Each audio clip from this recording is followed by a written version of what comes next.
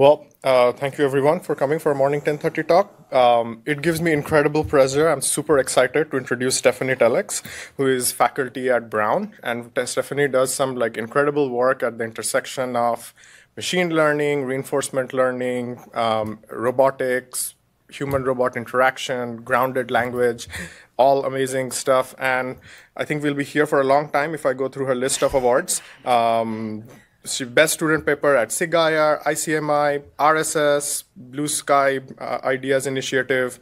Um, she has, like it seems, a, a, NASA Early Career Award, Sloan Research Fellowship. I mean, I'm just picking and choosing right now, and an NSF Career Award. So, um, without further ado, um, Stefanie. Awesome. Thanks very much. Um, it's nice to be back here at MSR. Uh, so this talk is called Learning Models of Language, Action, and Perception for Human-Robot Collaboration. Um, and I've done this work in collaboration with a wonderful group of students and, and colleagues at Brown University. We're out to solve AI. Um, so if you're interested, yes, we are. Um, so if you're interested in learning more about that, I'll talk a little bit about that today. Um, but come by and visit us and help us. Uh, so we're at a really exciting time in robotics. Uh, there's been a tremendous amount of progress in terms of transitioning these systems from laboratory environments and demonstrations into real world functioning things that are being commercialized or on the very edge of being commercialized and used by end users. So for example, I was part of this uh, forklift project when I was a postdoc at MIT. It's an autonomous robotic forklift that can navigate around warehouse environments and pick up pallets and put them down. Uh, today, there's been, of course, a tremendous uh, surge of interest and investment in the self-driving car uh, that was it was outgrowth of projects like this one um, and the DARPA Robotics Challenge and stuff. And Waymo just announced they're doing unmanned testing of their vehicles in sunny Arizona, um, not rainy Boston and Providence. And you know, I think you could do pretty well here. Actually, it's not it rains, but not you know not a lot. The variance is not. Yeah, the variance is right. Um, so, so in sunny Arizona, you can actually ride in these Waymo cars, and there's no safety driver. There's no safety driver in the car. You're just in the back seat, and it's driving autonomously. Um, this technology is coming. Uh, I teach. I was telling some of you before the talk. I teach a course at Brown.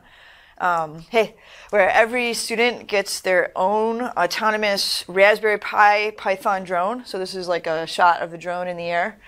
Um, they build it and then they fly it. All the software is written in Python for the course. So uh, it's like one drone per student or something. Amazon funds the drone. The drone costs about $220 right now. I think I can bring that price down um, to make it even more accessible. And this is a picture of our flight day. Uh, we went to the tennis courts and you know everybody's got their drones laid out. Um, they can fly on these, these highly textured planar poster boards. Um, they fly in their dorm rooms. They fly in in like the lounge in the in the lobby area. They fly in our lab. We finally got a net in my lab like last week, um, but you know for all this we didn't have a net.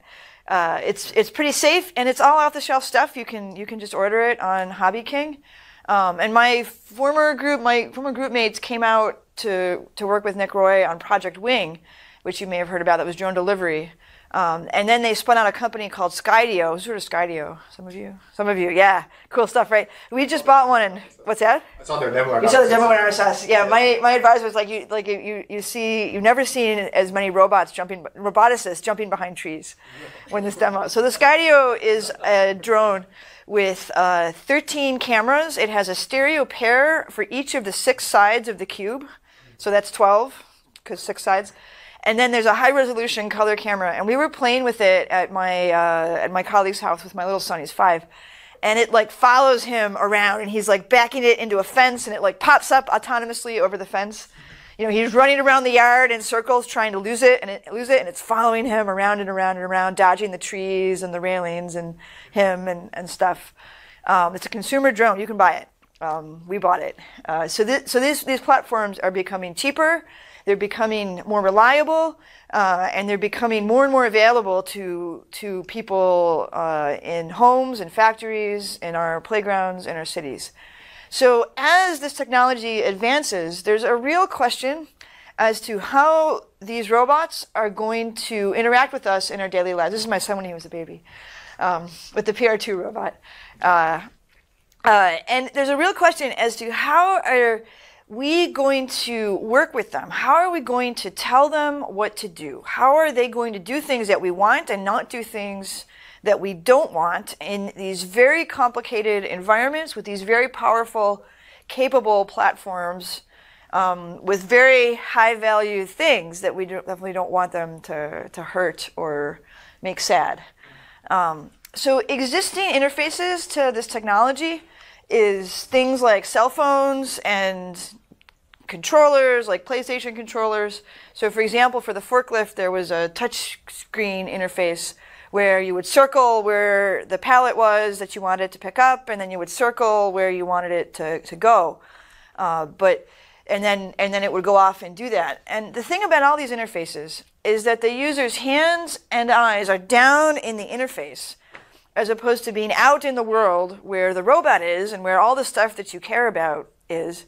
And you're also giving fairly low level, fine grained commands to the robot.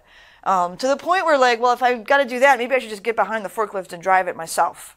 Um, so instead, what I'm trying to work towards is a world where we can interact with the robot as if it was another person. So, for example, for the forklift, we'd like to be able to say, in words what we want it to do. You might say something like, put the metal crate on the truck. And then the robot has to figure out from these words, from this symbolic expression that maybe it's extracted from speech recognition, it has to figure out what the metal crate is and where the truck is. And at the end of the day, it's got to figure out what electrical signals to send to its motors to cause the, the, the trait, the crate to be where the, the human is telling it to be. And this is challenging for a lot of reasons. So, the first reason it's challenging is that people don't like to stick to a fixed vocabulary and grammar. So, for example, if you just want to do this one command, you can kind of imagine programming something or even training a deep learning system to go to this uh, thing. Uh, but people don't like to give commands in just one way. So, for example, we showed people on Amazon Mechanical Turk a video of the robot doing this relatively short uh, sequence of actions, about 30 seconds of video. And we said, describe as you would show an expert human operator, tell that, tell, tell the human how the, you would, what words you would say to carry out the actions you see in this video. And they say things like, put the tire pallet on the trailer. Um, but they say a lot more things too. So they say, place the pallet of tires on the left side of the trailer. So they're doing some spatial referring expressions, and they're saying exactly where they want the pallet put, whereas this first person didn't say that. Um, or they say, lift tire pallet, move to an occupied location on truck, lower tire pallet, reverse to starting location, lower forks, end. so people, you know, this person kind of gave this this finer grained, more detailed sequence, um, talking about moving forwards and moving backwards. Um, it's perfectly understandable to to us as as people, um, but it's giving a lot more detailed information than, than you might expect, uh, the, than the first person gave, and that we kind of expected when we first uh, did this. So um, actually, when we, we sort of do this task at scale, we get we get hundreds of examples for this video, and we see that no two commands are identical. People, you know, even for this really short video, use a tremendous amount of variety in the ways that they put these commands together. Um, and all of them seem pretty reasonable when you read them. Like you can be like, yes, this makes sort of makes sense. Um, and this is just for one task. So if you kind of expand the space of tasks beyond just put the metal crate on the truck, you might want to imagine saying something really fine grained to the robot, like move backwards 10 feet. Or you might tell the PR2 in the in your home, you might tell it something like tilt the picture frame to the left a little bit. Okay, there, it's level you know, really fine-grained, highly interactive sorts of commands.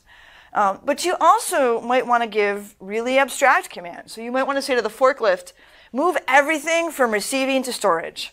And then I'm going to go away and come back in an hour and I expect this job to be done. Or you might say to the PR2, clean the kitchen while I'm at work. And I go back and I come back in eight hours and the kitchen better be spotless, right?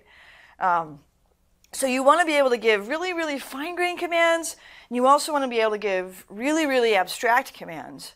And what's challenging about this is if I only give my robot access to sort of high-level commands, I lose the granularity to express those really low-level commands.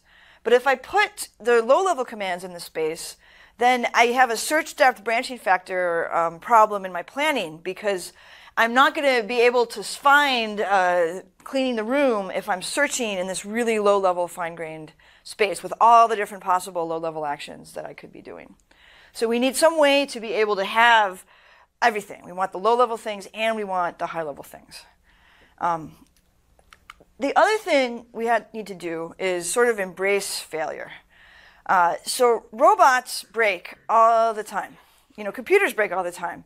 And we really don't want our robot to kind of freeze and crash or ignore the person um, or, or require the roboticist to come in when something breaks down.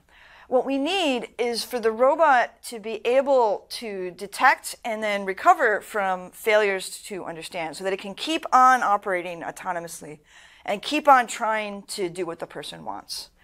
So, for example, if you say put the metal crate on the truck and the robot's not sure what object uh, that, that the person is talking about, we'd like it to be able to ask a question like which truck, and then use information from the answer in order to continue operating autonomously uh, and and and then sort of go on and, and, and do the next thing that it's supposed to be doing.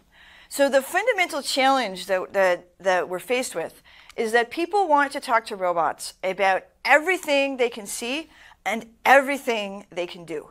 So we need some kind of model that hooks into everything that robot can see and everything that robot can do. Whether we learn that model or whether we hand code it or a combination of the two, we somehow need access. We need to hook up language to everything the robot can see and everything the robots can do to make this happen. And that's kind of the aim, the problem that I'm solving in my research program. So what I'm doing, the contributions, is to enable human robot collaboration by learning decision theoretic models for communication, action, and perception. So we need the communication because if we want to understand language and gesture from untrained users and unscripted interactions, we need to understand how people communicate. And we need the models of action and perception because we want the person to be able to talk to the robot about everything it can see, that's perception, and everything it can do, and that's language. And by using decision theoretic models, that's going to enable the robot to detect and recover from failures to understand. So we're going to be able to reason about what we know and what we don't know and take information gathering actions to collect more information. Um, by learning, we're going to scale to very large problems. So our long-term aim is to learn these sorts of models by imposing some structure, but then within that structure, learning so that we can scale to large problems and adapt to the specific environment the robot finds itself in. Um, the decision theoretic part lets us detect and recover from failure, and by combining these two things, it can improve from experience so that you can put a robot in a new environment and have it detect and recover from failure and then learn and improve its ability to operate in that environment over time without involving a roboticist um, programming. All right, that's the high level story. So I'm going to tell you more now about how uh, I like like what this looks like, sort of from a technical perspective. If there's any questions, by the way, feel free to stop me and ask. Are there any questions now, or comments, or things you violently disagree with?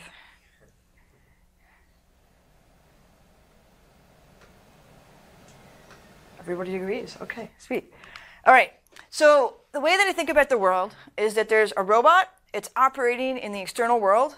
There's objects and pallets and stuff. And then there's some kind of control system that's driving the robot, that's making decisions about what actions it should take. And perceptual data from the robot sensors are coming in. So images from a camera or range sensor information from a LiDAR or joint angles from joint encoders. And then it's outputting actions. So really fine level actions like what voltage should I send to my motors um, but also more abstract actions like drive to a particular location, make a plan and end up at this XY location. Uh, and what I want to do is augment this with human input. So human language, like go to the truck, or gestures, like pointing or looking, or any kind of human activity. And then communicative output. So I'd like to be able to respond to commands, but also ask questions. And the trick, the magic, is sort of what goes on inside of this control system. So what I'm going to do, the way I think of it, is I take observations, and then I use those observations to make some kind of model about what I think is going on in the world, and then based on that model, I produce actions. So for the RL people, this is model-based reinforcement learning. This is a model-based approach. Um, and the reason is because humans want to talk about everything we can see and everything we can do. So I think we really need that model to hook the language into. Even if we're learning those hooks, I think we need that model.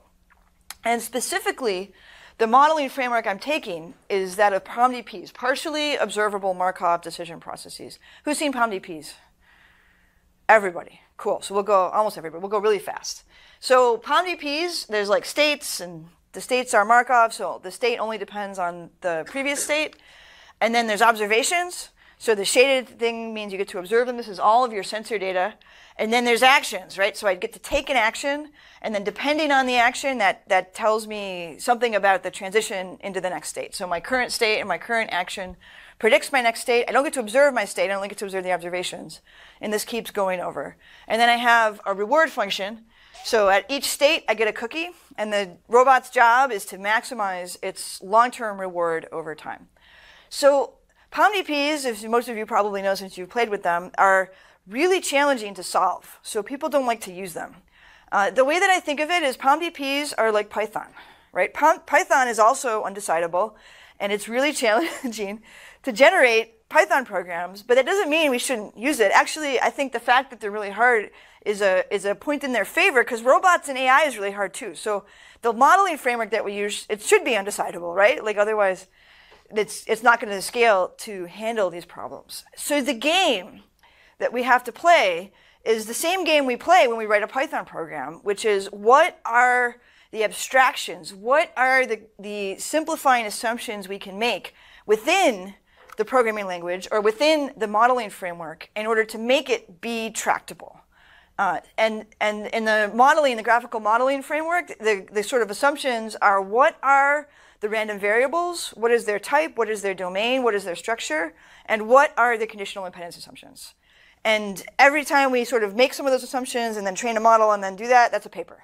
That's kind of how the, the game that we work. And what we'll be doing is systematically going through the different parts of this POMDP and trying to understand the assumptions that we can make to enable efficient learning and inference so it's not undecidable, so that it can scale to these very large problems. So what I'm working towards is something I call the human-robot collaborative POMDP.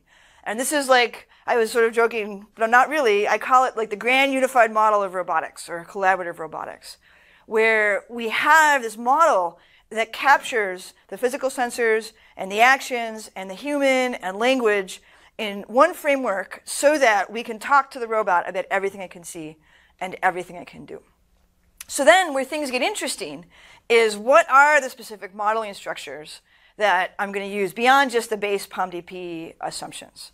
So the first thing we're going to do is kind of refactor the state and divide it into the physical state of the world. So like where's the robot and where's all the objects and what are its joint angles and stuff.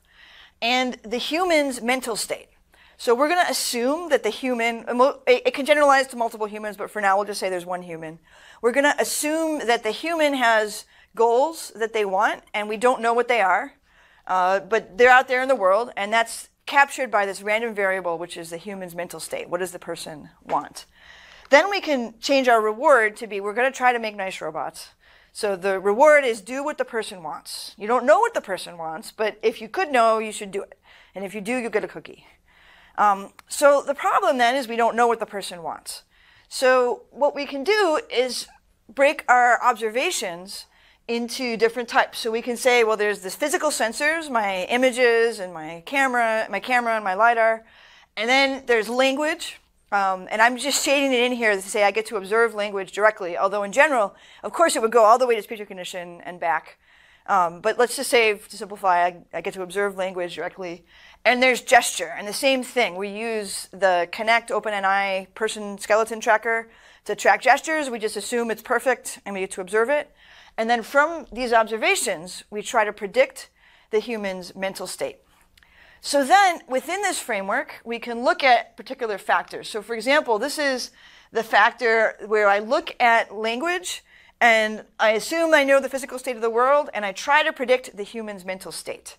And this is language understanding, right? I'm trying to observe their language and estimate their mental state, their goal. Um, and then if only I know that, then I can make a plan to achieve their goal. So this factor is about, yes, sir.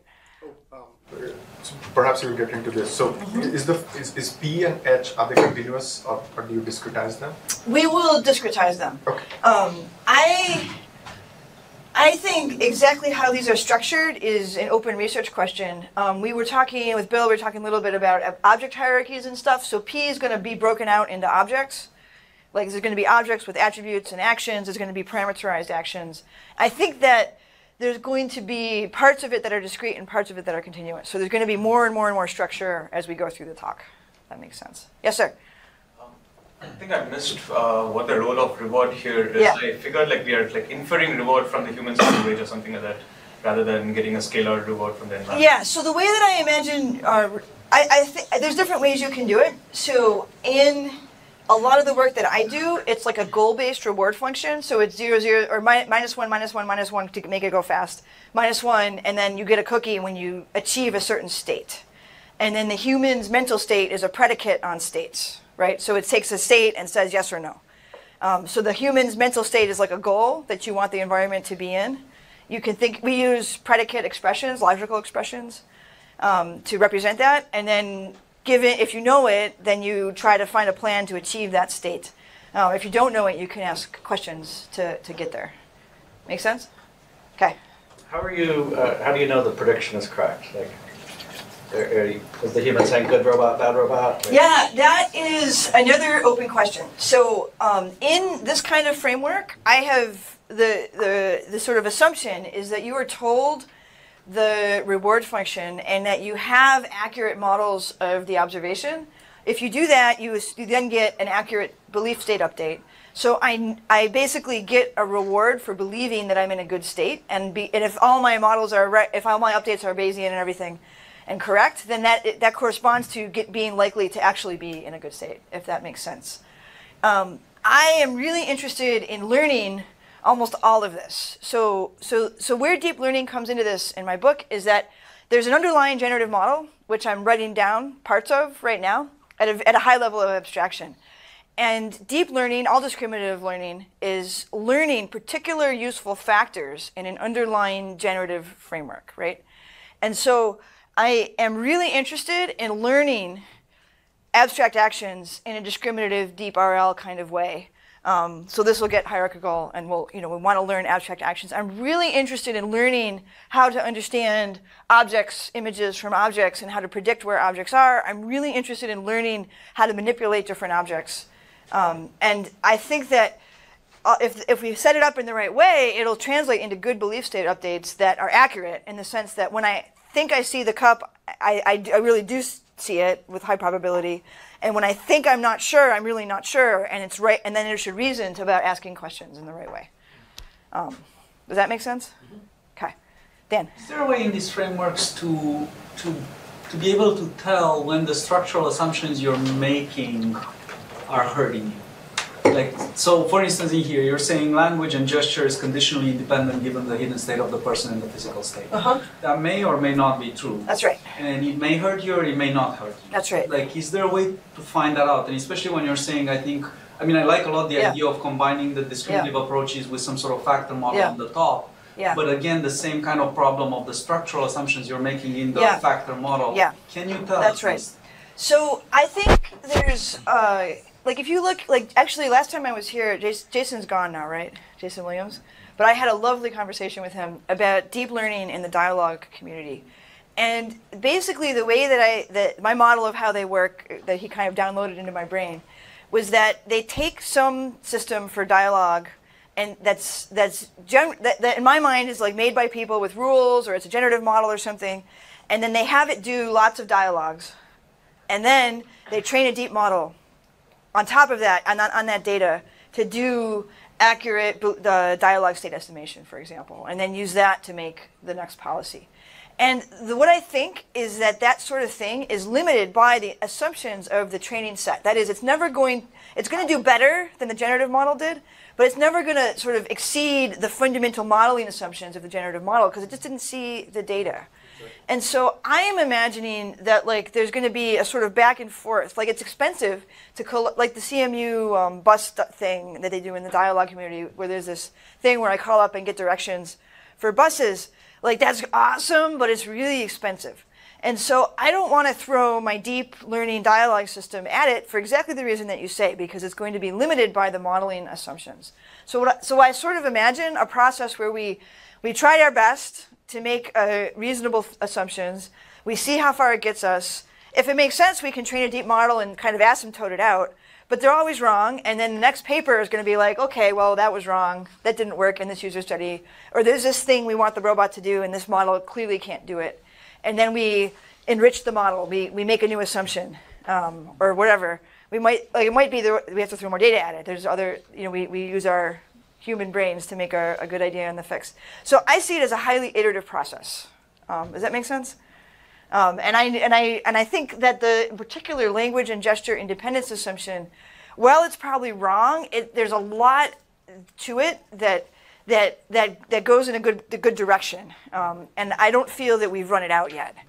Um, if that makes sense. Um, but you can disagree, and that's okay. Like I'm agree to disagree about that. You know what I mean? Okay. All right. So like language. Any more questions? Like questions. Um, all right. So language understanding, um, and then I can imagine uh, communicative actions, physical actions that change the physical state of the world, and then communicative actions that change the human's mental state. So if I ask a question, if the robot asks a question to the person, that's going to change the human's mental state in a way that's going to cause them in the next turn to give me an answer to the question. Um, so I can sort of make communicative actions uh, to sort of communicate with the person. And that's what I think of as communication for collaboration. Yes? Where's the robot's planning state in that? Like, you gave us this sort of nice sort of uh, Yeah. list of dis- distinct ways that people could describe actions, and some of them are very like high level, some of them are low level. That's I think right. of this sort of post POSAT or something. That, you know, some details might be omitted or specified, and Yeah. and as I'm as I'm imagine Yeah. I'm given a low level command, I might Yeah. be able to achieve the desired physical location result in a single turn of an action, right? Like I Mm-hmm. advance ten feet and I'm there. Yeah. But gi- given a high level action, I might need to understand how far I've Yeah. progressed in the execution of that and receive some feedback. Like, do you see that as is that part of the human state, or, or where, Um, is, where does that live? Yeah, both. So actually, that was like my next slide. Oh, sorry. Very okay, nice. cool. Yeah. Yeah. um, so like basically this idea that there's this action space here and there's high level actions and there's low level actions and also the human is going to take actions right so the human is going to take actions high level and low level actions so in the sort of ultimate version of this model the humans taking actions at different levels of abstraction that i'm trying and that, based on what i think they want i may be able to predict their actions or i may be able to observe their actions and then predict what i think they want or do some prefix of the activity. um, yes. Yes. So you need human feedback, and then solicit Yes. that feedback, and then advance. Exactly, Yeah, right. yeah. And the sort of short story about this is like hierarchical abstraction. Um, and I will talk about that in this in this talk. I'll go into the details of what that what I think that needs to look like and what the gaps are right now. We haven't figured it all out yet, but we have some ideas about that. Um, but hierarchical abstraction. Um, and that, that sort of action for collaboration is like how do we structure the action space so that we can handle those different levels of abstraction and so that we can learn the different uh, actions in, in sort of an abstract space so that I can understand everything the human says tells the robot to do. And then the final piece is uh, the perception. So like I'm trying to estimate the physical state of the world given my observations from my physical sensors. And some of this just kind of falls out of robotics. So like SLAM and estimation and Kalman filters, all you can just put them in this framework and it's right, it works. Um, it makes all these same Markov assumptions. Uh, but some of it is highly dependent on the what the human says. So so I already gave Bill this example. But one of my examples is I call it the speck of dust problem. So if I tell the robot to pick up that speck of dust on the floor right there, here it is, um, you know, clean it up and throw it away. uh, before I gave that command, I really better not be tracking all of the specks of dust in the room, or else my the robot's brain would explode. For computational reasons, I can't be doing that. Um, but as soon as I said to the robot, pick up the speck of dust, that better be like the most important thing in the robot's world because the human said to do that, right? And so you can sort of see from this example that perception, the perceptual system, and the planning collaboration framework have to be closely tied in order to have that capability. Uh, and so we're thinking a lot about how we can hook up the perceptual system into this framework so we can handle those sorts of commands in partially observed environments, which of course is the robot. Then that's what I talk about when I talk about perception for collaboration. Okay. Um, so I am not. I could give an hour-long talk about any one of these areas. Um, I'm, and, and, we do work in all three. Um, in this talk, I'm going to focus on the communication for collaboration, uh, and I'll talk about some work um, in a highly simplified model, uh, but it's a POMDP model. And then I'll give a really high level survey of what we're doing in the other two areas in action for collaboration and perception for collaboration. So um, in communication, one of the problems we study is referring expression resolution. So the idea is that the robot is trying to deliver objects to the person. And there's a bunch of objects on the table, and we decided we wanted to simplify the, this as much as possible. So we know where all the objects are, we know what they are, we know their language models, um, and the person is using language and gesture to communicate which object that they want the robot to hand to them. So they might point at an object and say, can I have that bowl? And we're doing speech recognition, we're getting keywords, we're getting uh, gesture, we have a generative gesture kinds of model, um, and then we kind of get a multinomial. And this is where I would love to talk about your framework because we'd love to do more things. But anyway, just as just language and, and gesture. And what we get is a multinomial belief state, right? The human's mental state is which one of these five objects I want, and I th- that they want. And the robot doesn't know, so at the beginning, it's a uniform distribution, right? Because I don't know which one. Then I do an update based on the language and the gesture, and what I get is they said bull and they pointed and it's really clear. So I get a nice pointy posterior um, at that bull number two and I can go off and deliver the bull. So this is an easy situation. Um, but in another situation, all I did here is I moved the person back. Um, and what this, and I also rearranged the objects a little bit. So he says, can I have the marker?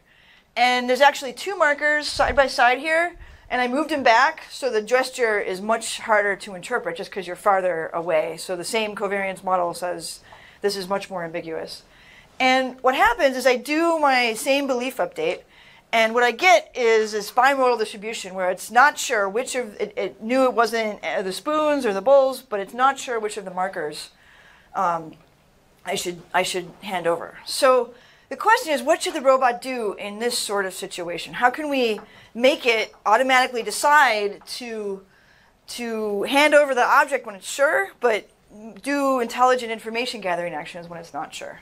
So we can come back to these kind of POMDP models, and we, what we did is made like a radically simplified version of this, which we call the FETCH POMDP, the Feedback for Collaborative Handoff POMDP, so we get the nice acronym, FETCH, um, where we get we factored the language into base language, which is like a keyword kind of language model, and response language, which means we think that they're answering a question that we already asked, and we're going to use the answer to update our belief state. And then the gesture. Um, and the state is the human's desired item, and, the, and if we asked a question, the, the question that we asked. Um, so we're going to be able to ask questions like, do you mean this one? Do you mean this one? Do you mean this one? So that's what this, uh, this item is. And our goal is to hand the correct item as fast as we can. That's the reward function. Um, and what this lets the robot do is essentially the optimal policy in this sort of belief state works out to be to ask a question, and it automatically decides to ask a question. It decides what object to ask about. Um, and then, based on the information from the answer, they say, no, not that one, so it's a negative answer. They can figure out, oh, okay, it's the other marker. Um, and go off and uh, hand off the correct object. Um, and what we did, the video. Final answer. You wanted object four. So this is easy. We're close. We're sure. We go off. We do the right thing. Um, and this is the harder case. Can I have the metal object over there? This one. No, the other spoon. Final answer. You wanted object 6. Um, so what you can see is the same algorithm, the same model, the same everything is automatically deciding in one case to deliver the object. In the other case, it's deciding to ask a question to gather more information. It's driven by this Bayesian decision theoretic framework. So uh, with multimodal language and gesture. So um, we did this a user study to um, sort of assess how well it works. Uh, we had 16 participants with a within subjects design. So Bill was asking, how can we afford to have so many people within subjects is like the way.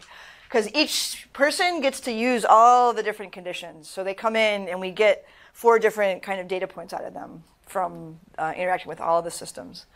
Uh, and we compared it to never ask a question, always ask a question with a fixed policy, and intelligently asking a question with this Bayesian grounded kind of framework. Um, and we measure the speed of the interaction and the accuracy of the interaction. Um, so the, ambi- the unambiguous condition, they're close, and the objects are spread out, and there's no two similar named objects side by side. In the ambiguous condition, we move them farther away, and we arrange the objects so that the bowls are next to each other and the markers are next to each other, so that we get these, the, the, just naturally, we get these harder interactions. Um, and what we get, this is the, the, sort of graph of all the results, um, but the sort of one line summary of the results is that we're about two seconds faster, 25% faster, um, when we intelligently ask a question. Um, and we're more accurate, even than always asking a question. Uh, so it really works better, and they also li- they like it better. Um, I think we don't have those numbers, but we also ask them how much they like it, what's the NASA TLX workload, and stuff. Um, and we were surprised. We thought always asking a question would be better than intelligently asking a question, but it turns out that asking too many questions confuses people and it just gives you more opportunity to screw up. So if you already know, asking more questions actually makes things go worse. Um, so, so the intelligently asking a question was better than always asking a question. And 38% of our users thought the system could understand prepositional phrases like to the left of and, and near and stuff like that even though it can. Um, and our hypothesis about why is because it was so natural, the way that it asked the question so quickly, that they, they, they gave the system more credit than it actually had in terms of its spatial language and semantic understanding ability. Uh, and this is published at ICRA last year. Question? Uh, yes. Did you have the same number of objects and same types of objects mm-hmm. across yeah, so for this study, we controlled the number and the types of objects. We just changed um, how far apart they were, how far away the user stood, uh, and the order of them. So you can see the bowl here, as you can see the spoon, and the spoon are far apart, so gesture's really, really good. Um, when you're when you're that standing that close and the, and the marker's over there, you say the marker and you point, it's very it's very sure um, versus the far away. And, and this is this is sort of less interest. This is more of a baseline condition. We wanted a condition where it was really we were getting really reliable signal so that we could compare it to the condition when we're far away and we rearrange so the spoons are side by side because gesture would work too well otherwise you know we never needed to ask a question so we wanted to create a need to ask questions um, yes sir um, what kind of belief state solvers are you running so that's a really good question. Um, we explored a couple different algorithms for this. Um, so we played with POMCP, but it doesn't really like uh, these kinds of problems because it has to sort of look ahead and, and it runs out of particles. Um, we did try NAC, which Natural Actor Critic, mm-hmm. which it's really strange actually if you're an RL person and you mm-hmm. and you look at the dialog people using NAC. It's an RL algorithm, but it's like being used in POMDPs. And the problem with uh, NAC is that you have to train, you have to essentially you train the solver before you do the study. Um, and so it's kind of a pain. So in this system, we used belief sparse sampling, which is kind of a sampling algorithm, kind of like POMDP, POMCP. Mm-hmm. Um, and we're really not, and you saw that was quite fast, but of course, this is quite a small problem. Uh, and so one of our areas of research uh, very actively right now is better inference algorithms.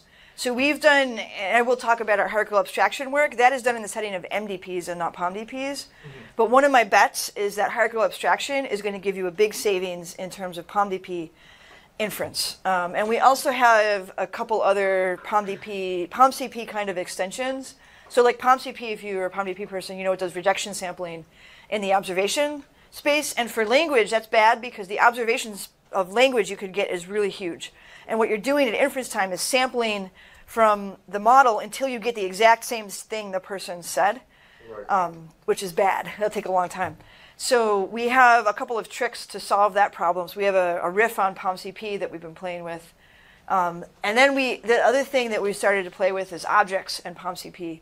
So if you assume that the, that doesn't work in this problem, but if you're looking for objects and you assume that the locations are conditionally independent, then you can basically run separate particles for each of the objects and combine them back together and get a really big savings for a relatively straightforward trick. And we're just starting to think about abstraction um, in that. Have you thought about hindsight optimization as a solver? No. Because I mean, finding good practicability in Yeah. There's limitations there, Yeah. but it Yeah. but, but it seems to Yeah. help a lot. Let's talk about it. Yeah. Yeah. So I, I think that's one of the open problems, and one of the things that's holding us back is is uh, inference. And my bet was that we needed more structure. So what we're doing first, or now anyway, is abstraction and POMDPs, um, hoping that that's going to give you uh, an acceleration. All right. So that um, we sort of going back to this model, we can sort of see that the language, which is I, I wrote up here, is one thing. We're using a unigram language model, so we can assume that all the words are independent, and you get this kind of thing. Um, and if you know my prior work in uh, compositional semantics, learning models for words like near and stuff from from data, actually, it's not. I don't. I don't really believe it's a unigram model. I think that it's some kind of compositional parse structure thing that's learned from lots of data um, that's going on inside of, of this factor. And our long-term goal is to put that inside of a POMDP framework so that we can ask kind of compositional questions and, and stuff uh, that we were doing in, in the pre-POMDP G-cube days. I had some papers about question asking. Um, all right. And we have some other work. I'm not going to have time to talk about it, but like we could generate um, intelligent uh, requests for help, for example. So there was a paper at RSS a few years ago where the robot needs something, so it can say, help me, but that's not very clear. Um, so you might imagine saying, please hand me the white table leg. But the thing is, there's three table legs in this scene here. And it's not clear from this expression which one the robot needs. The one this robot needs is the one that's here on the white table, because that's the one that's out of its reach. Um, and so we had a, a kind of a tricky algorithm that does inverse semantics to reason that this is ambiguous in this particular scene. So it's better to say this longer expression, please hand me the leg that's on the white table, um, in order to get the person to do what you want. And this is using compositional semantics, and I, I still believe in it. I think we should use it. Um, but what I, what, what I wanted to do in the earlier work was kind of build up towards a POMDP framework so that we could kind of have this uh, unified approach. Um, so that's like the, the action space also factors in the, in the language way. So, um, so that's kind of a deeper dive into communication for collaboration. So now I'm going to talk a little bit about our action abstraction work and just the briefest overview of our perception stuff um, before I finish up. I finish up at, at 11:30, right? Yeah, but you Yeah. have the room till twelve. But Well, yeah, I'll finish up at 11:30. So we kind of had this example before. We want to understand abstract things like put the metal crate on the truck, fine-grained things like move backwards 10 feet, and really, really abstract things like move everything from receiving to storage. So that's sort of getting at this question of like, how do I structure the action space that um, that I was asked at the beginning? And the thing about existing hierarchical planning, um, so like if you're an RL person, there's like options and macro actions. If you're a planning person, there's task HTNs, hierarchical task networks. Um, and this is also This is like a, a MAXQ kind of assumption, uh, a world. All of these algorithms make the assumption that at planning time, you're going to essentially potentially explore the entire space. Um, and they also make uh, the assumption that you're going to get to sort of reset yourself back into the same state that you started in um, from the time that you define the, the options or the hierarchical abstraction. So I, I named these assumptions um, after a movie, which maybe you've seen, Groundhog Day. Have you seen it? Um, most people, good. Uh, this is Bill Murray, and what happens is he like wakes up every day, and it's February second, and the same songs playing on the radio, and the same announcers have the same conversation. It's the same thing over and over and over, um, and nobody else realizes this, but he gets memory day by day by day. Um, so the Groundhog Day assumptions are the assumptions that a large fraction of RL planning research makes. Um, and it's great because we like to make assumptions and they simplify the inference and they've gotten, we've gotten a lot of mileage from these assumptions. But of course, it lets you learn sort of strange things. So this is an example from the movie. Um, he's going to rob a bank. So he knows every day at 2.03 p.m., they drop some quarters. They're all going to be on the ground. And he can walk up behind the bank guards and steal the, the bag of money. So here he goes. Um, and it works, right? It, it's a, it's a, it's one way. It's, it's a valid way to, to rob the bank. However, it's not going to generalize to the next day when you have no guarantee that the quarters are going to be dropped. This is something you're learning as kind of an artifact of these assumptions. Uh, and this is sort of the, the problem with a lot of the existing hierarchical abstraction when you start to imagine using it for language understanding. Um, because what you want is to be able to put the robot in a new situation, maybe with objects it's seen before, and give it a new command, maybe with words it's seen before, but a new command, and have it immediately find a policy to, to solve, to obey that instruction. So we defined a, a new kind of hierarchical abstraction that's a generalization of options. We call them abstract MDPs. And the trick with an AMDP is that an action in the abstract MDP defines a reward function one level down, not a policy like an option. Um, so that means the, act, the abstract action defines a goal one level down. Um, and then there's a state abstraction function from child states to abstract states. Um, and what this lets you do is because you're sort of planning in this goal space, if the low level state's different and the policy doesn't work anymore, you still have a planner that knows the goal and you can solve the planner from the new situation. Now, if you do have a good option, great, use it. Um, it fits because you can just say, well, this is an option and this is the termination state, and if this works to solve the abstract action without having to actually run the planner and it's reliable, use it. Um, so it's a generalization of options, but you can also have uh, hierarchies where you can use domain-specific heuristics like A star when it makes sense uh, in order to get um, much faster speedups in your planning time. So we used AMDPs in uh, a simulated domain, which uh, for a pick-and-place mobile manipulator robot that's moving objects around in a grid. We call it cleanup world. And we defined, manually defined a hierarchy, so I won't go into the details, but like moving objects. So the low-level actions are north, south, east, west and the higher level actions are moving objects around. Uh, and what we can do is enable the agent to find these high level commands uh, from any continuous location, even if we mess with the agent, because it's not just doing a blind sequence of actions. So it's trying to get the orange block to the blue room, and he's pulling the block out of the gripper. Oh no, what happened? Uh, but it's able to automatically replan to go get the orange block and put it in the, in the, the blue room because it understands its goal, not just a policy. Um, this is an MDP, right? This is an MDP, yeah. So we're in the MDP, I should have said, we're in the MDP setting now. Um, I want this all to be a POMDP. In the MDP setting, we just assume that we, that the, that the language maps to a, a, goal state and we're just trying to get to that goal state and there's no uncertainty. Even though I believe that there should be and we should ask questions. Um, okay.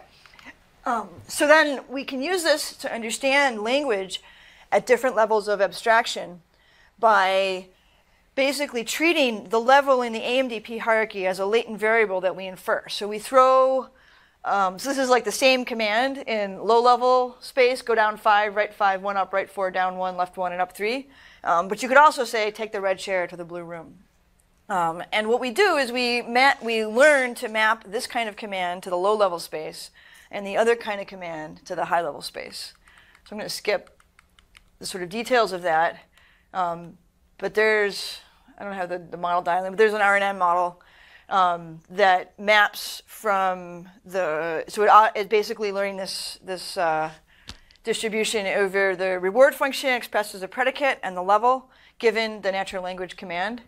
Um, and this was at RSS last year that lets it understand commands in an MDP setting at different levels of abstraction. Um, so here we can kind of see that the language, the action space, is actually hierarchical. Um, and the AMDPs is one step in the MDP setting for, for getting this. We're really, I think, what we're actively working on now, we don't have any results yet, is uh, POMDPs and abstract actions. So I'll skip. There's a video. I'll show you the video. So he, here he's giving an abstract command, take the block to the green room. And it maps this to a goal and it figures out, it's going to speed up in a minute, it's going to figure out the action sequence. And if we don't move the block in this video, but if it did move the block, it would, it would do all the stuff you saw in the other video. Um,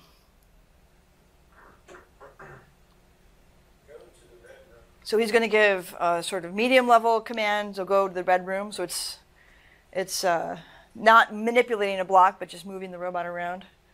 Um, here we go.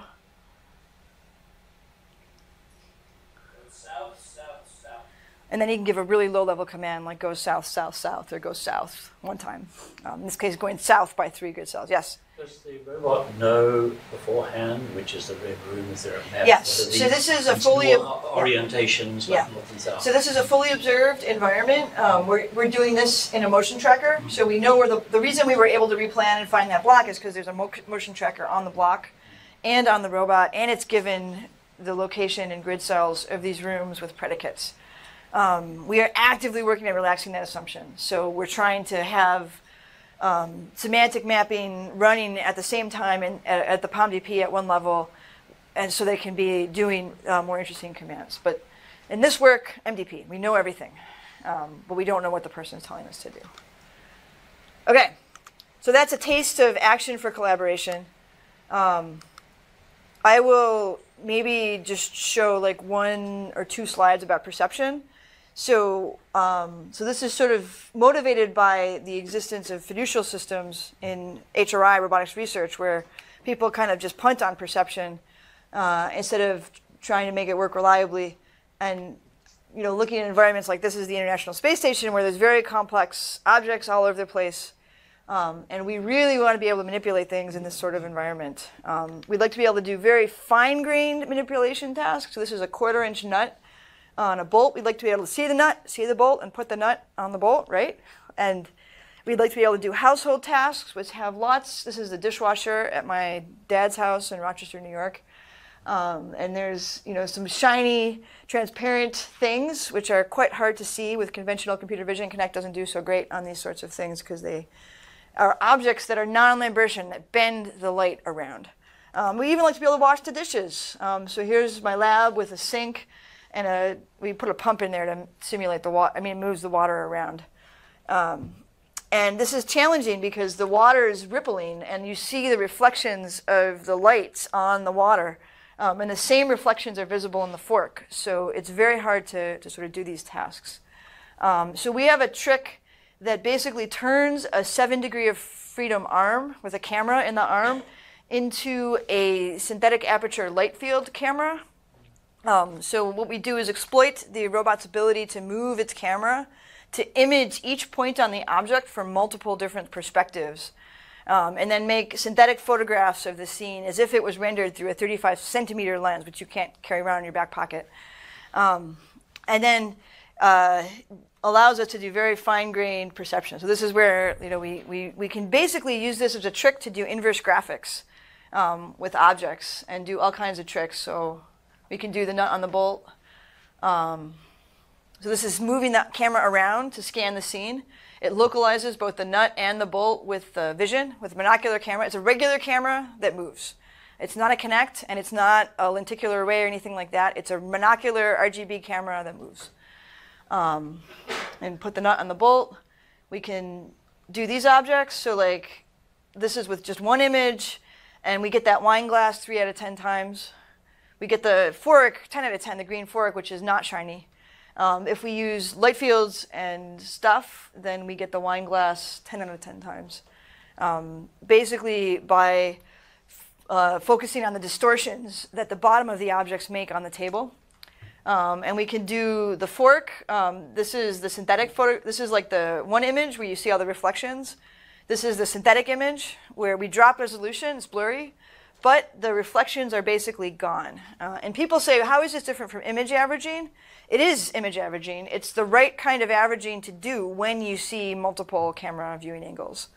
Um, so it works for the same reason image averaging works, but it works better because you're doing it at multiple different angles. Um, so the fork pops out, and we can very reliably pick up the fork.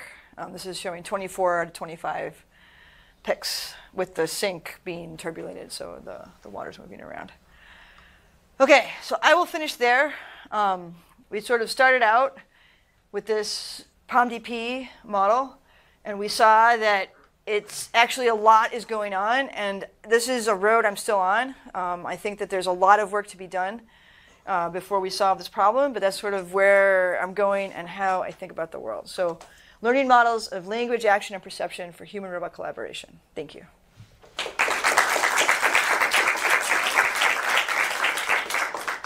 Questions? Yeah.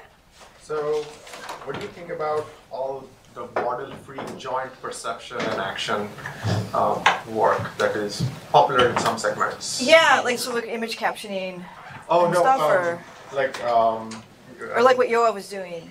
uh, or like uh, how Pieter and Sergey and they're doing this like Yeah. uh, well the deep is, is a side effect of Yeah.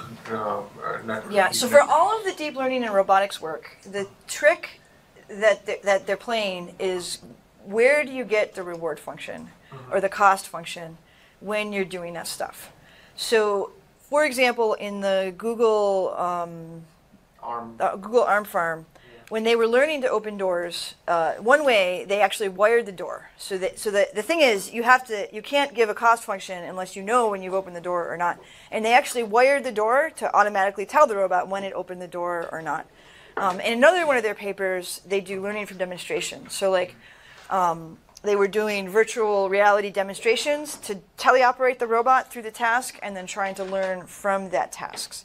So I think um, that is it's great work, and I think that the trick, uh, the thing that that's, there's, there's sort of two things stopping it from scaling. One is where does the reward function come from? Is it demonstration?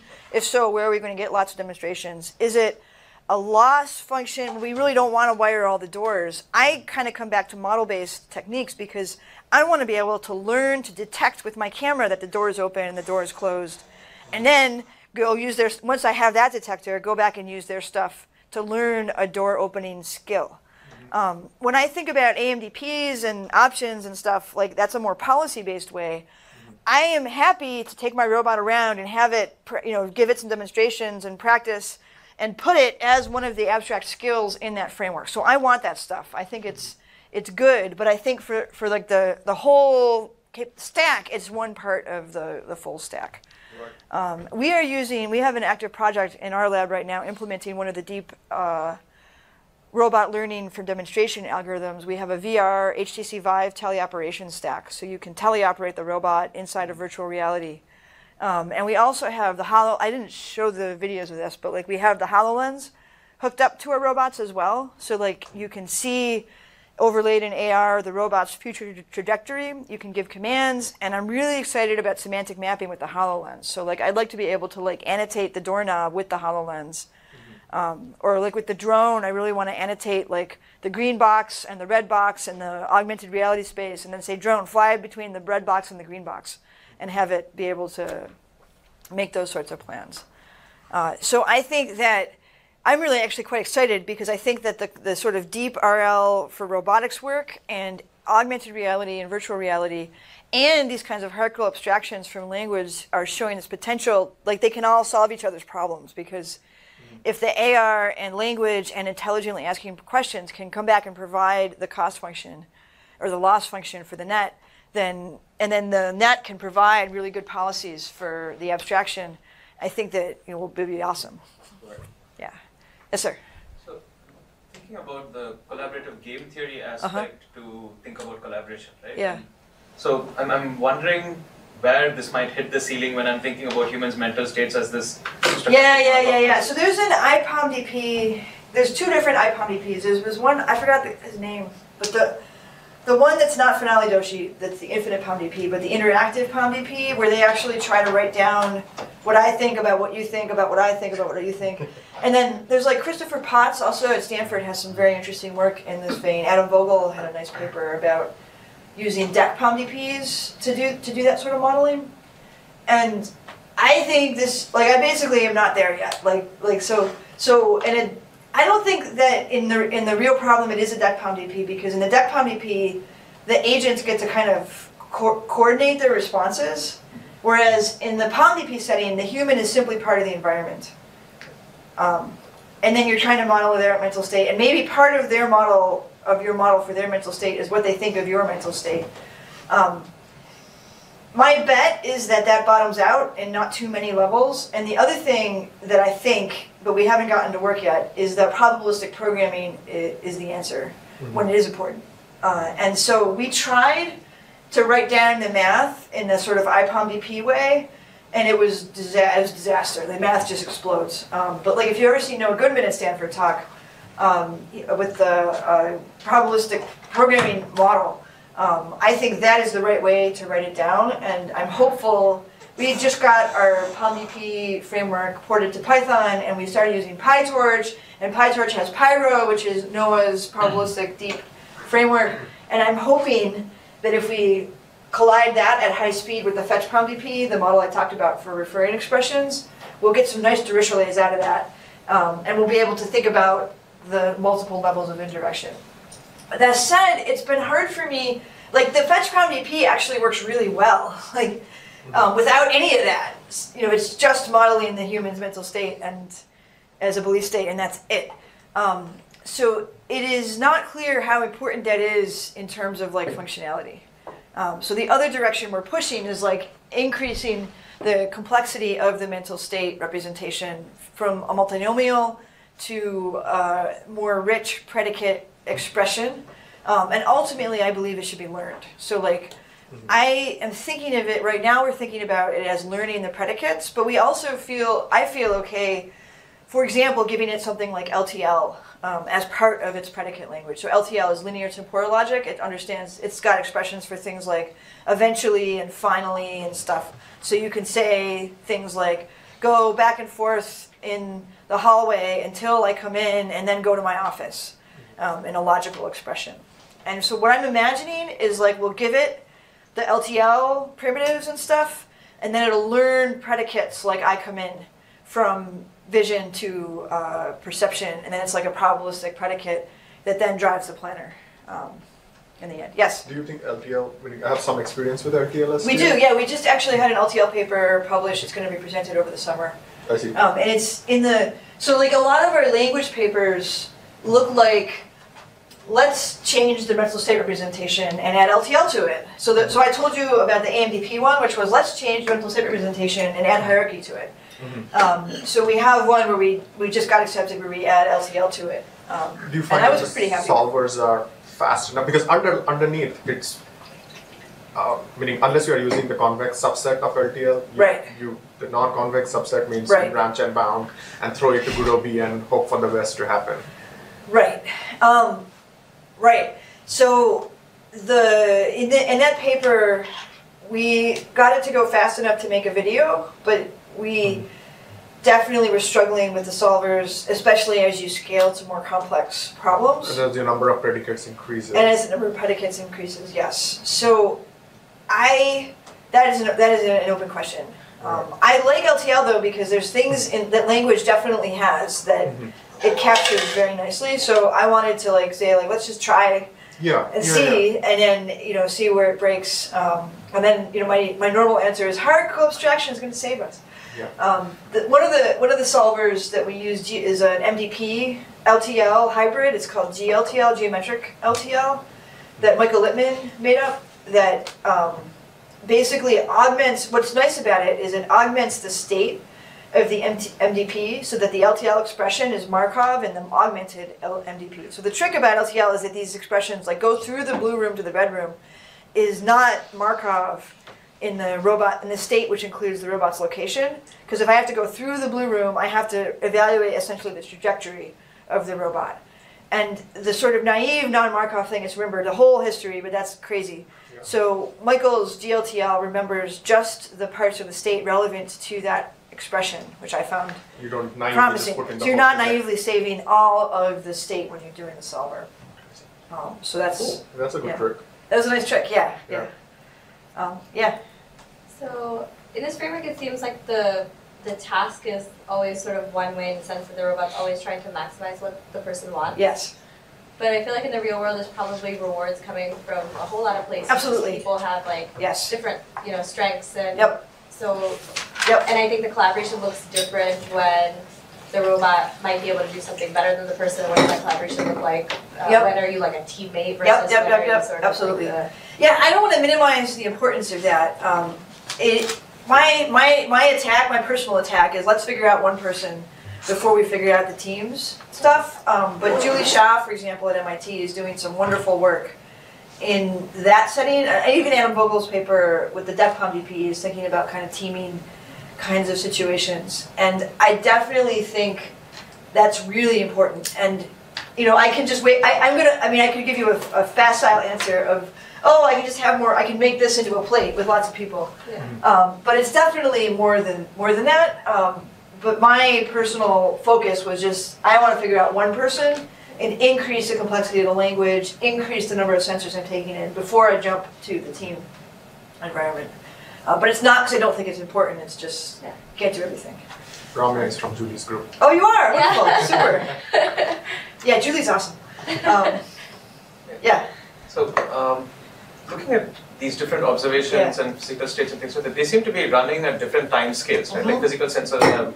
It, Absolutely. this POMDP formalization Yes. requires me to reason about all of them at like, the one that changes the fastest. Yeah. So, is there something Yeah. I can exploit? Yeah, so my hope is that if we figure out hierarchical abstraction right, we will be able to do everything. So for example, in our MDP domain, our low-level fine-grained actions run at 30 hertz. Um, the, the low-level motor controllers. And then we put grid cells on top of that. So the abstract action is use your low-level controller to go to a new grid cell. And then we put object manipulation on top of that. So then use your like grid cell manipulation to pick up the object and go somewhere somewhere else. In the POMDP setting, we haven't worked it all out yet. But what I hope is that SLAM and Kalman filters, um, if you're a roboticist, those these sort of standard estimation techniques that are that work really well, like the HoloLens, when they work, they, they figured out SLAM.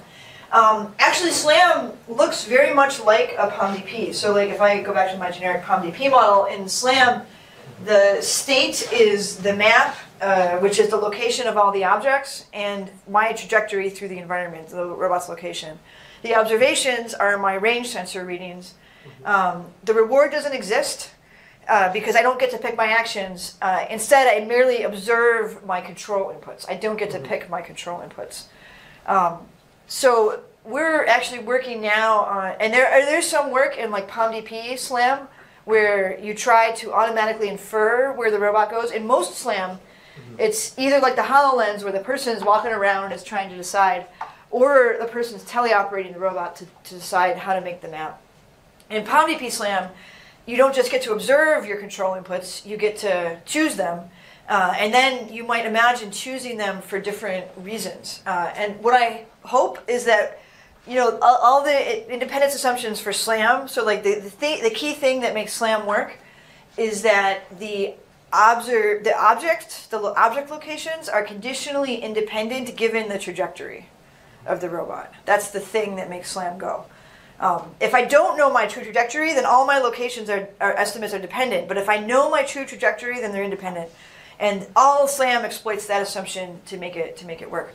And you can you should be able to make those same assumptions and run the same, you know, Rao-Blackwellized particle filter. Everybody does like like uh, least squares now, but like you know the same stuff, and have it work for the same reasons. I don't want to reinvent any of that, um, but I do want to figure out how to choose my own actions and have different reward functions. Like maybe I'd like to make the most complete map possible.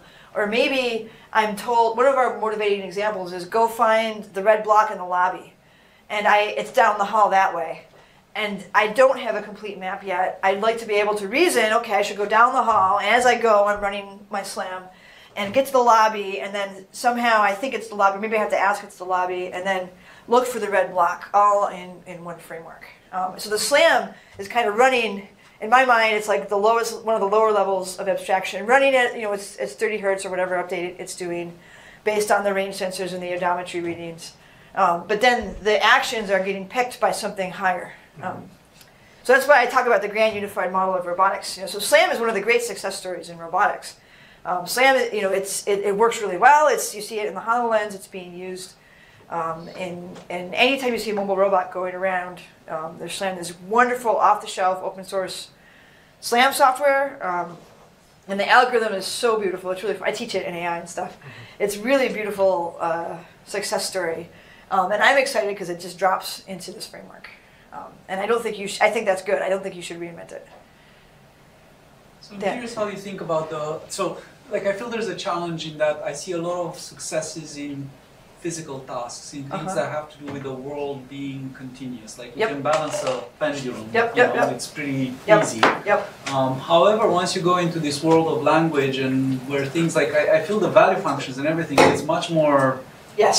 like you fall off a cliff in random Yes, places absolutely. and it's it's much like I wonder Yeah. if the success of SLAM and techniques like that has to do with the continuity and the I, I, I very much agree with that. Uh-huh. And what I think the, the I think hierarchical abstraction is key because exact the reason it's good is because it puts you in these continuous subproblems, Mhm. and it puts the the, the it, it, like like if, if we get I mean, I hope the hypothesis if we get it set up right we'll be in this like all the, the, the ugly points happen in a discontinuous spot and we can put an abstract action there to say here's the continuous subproblem and now I'm going to get it in a new manifold there's another continuous subproblem.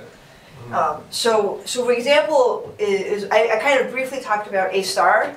Um, if I'm doing manipulation, so like I'm gonna go and pick up my water bottle and move it over here. A star, you know, for path planning, it's a very well-known algorithm for like, you know, A star is, is optimal over algorithm. A is algorithms, and A star is is for being optimal algorithm for doing these kinds of like search problems with heuristics. The thing is, if I'm trying to go here and pick up this object and come back, the Euclidean distance heuristic for planning is terrible because I have to walk away from my goal to pick up the object and then walk back, right? It's not admissible heuristic anymore. I can't use A star, this wonderful algorithm. But if I introduce hierarchy, I can say, okay, my abstract action is to get over here. My heuristic's great, I can walk over here. Then I use my abstract action to pick something up, and then I'm back using A star, my admissible heuristic, to come back here. And, and I get back these algorithmic guarantees. I can use my heuristic in the right way without having to reinvent A star or whatever path plane I want to use. It's, it just fits. So my bet is, is hierarchy will save us. And you can see that in all the Montezuma's Revenge and whatnot. Like Yes. Hierarchy. Yeah. So the student I was talking about at the beginning, actually, that was what he was working on. Was hierarchical abstraction in Montezuma's Revenge, um, and and and it works. It's great. I mean, if you give it a good abstraction, it's able to solve the game. The, the I can talk only it can't solve. The thing that sucks is he can't solve the real game because the thing that the intrinsic motivation paper could do is uh, the, the, essentially the tightrope trap. So I don't know how much if you played it, but there's these traps in MR where you have to do the right thing for a really long time to get past the trap. And it's really hard, like it's basically impossible to do it with epsilon greedy because you will just fall off the cliff. You're guaranteed to fall off the cliff. The cliff. So the intrinsic motivation in their reported results claims to be able to solve this problem and solve these time-based traps, but we and other groups have not been able to reproduce this result, and we don't know why. Um, so we can't solve time-based traps, uh, but we can't. But what intrinsic motivation can't do is the the key. It's basically what you have to do in the game is you have to go and get a key, and then backtrack. Let- Let's let's say that I start here. Um, there's a door, right? I have to go and get a key, and then backtrack to the door, which is near where I started, unlock the door, and go through. And intrinsic motivation is like, wow, I'm in this world where I have a key and everything is new, but this is more new than way back there. So it never actually gets through the door. The way that it gets through the door is by suiciding. Because if you suicide and lose a life, you go back to the start state, and then it figures out it can get through the door. If you take out suiciding, it cannot reason that it needs to go back. And This is the classic problem of exploiting idiosyncrasies of the simulator. That's right. Absolutely. So my student did this. Like he took he took out he made a model of MRR, took out the suicide, and showed the one that's going to CMU, um, Mel. Um, and he showed that like intrinsic motivation can't solve it if you suicide mm-hmm. in our simulated MR. But we cannot reproduce intrinsic what they claim to be good at, which was these tightrope traps. And so we can't beat real MR because we can't even reproduce their results, which were getting farther than anybody had gotten, but which couldn't do this key stuff in real MR. So like, so like if only we can figure out what they did, or reinvent what they did, or make a new thing that does what they did for real instead of for not real. I think they did it for real, but like you know how it is. Um, anyway, if we could just do those tightrope chaps, we could solve MR. Um, so we'll see. Yes.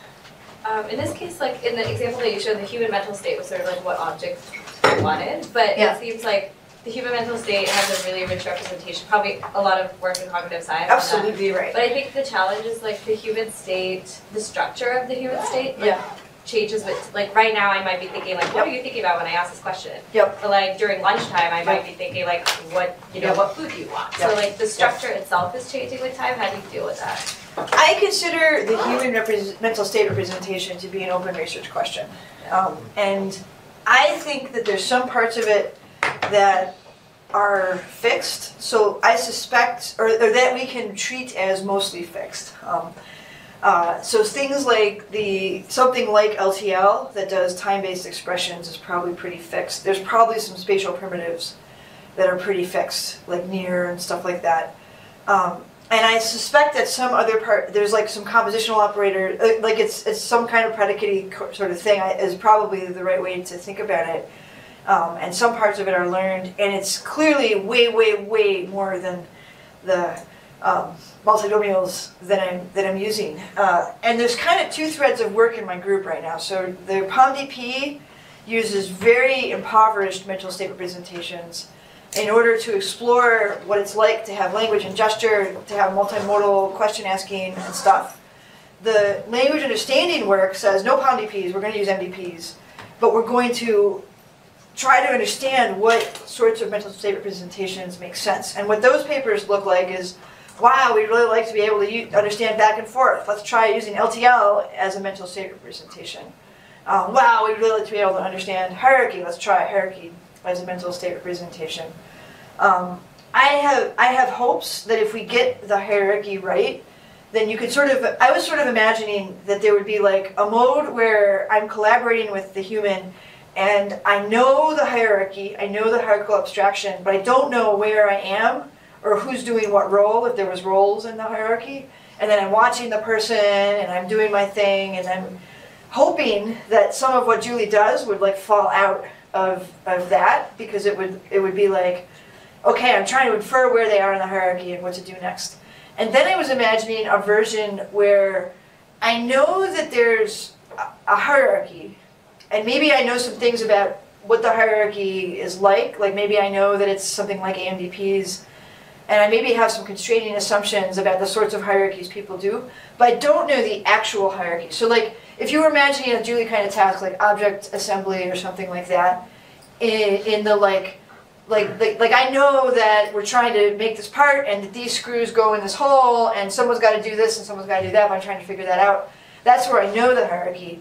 In the not knowing the hierarchies version, I'm just here and I don't even know what we're building, you know, and I have to try to infer that oh look there's some screws and the human seems to be putting the screw in the hole so maybe I can try to infer the hierarchy from language from demonstrations. And then you get into like something like semantic mapping or something where you're learning skills and stuff. And that's way beyond where we are now.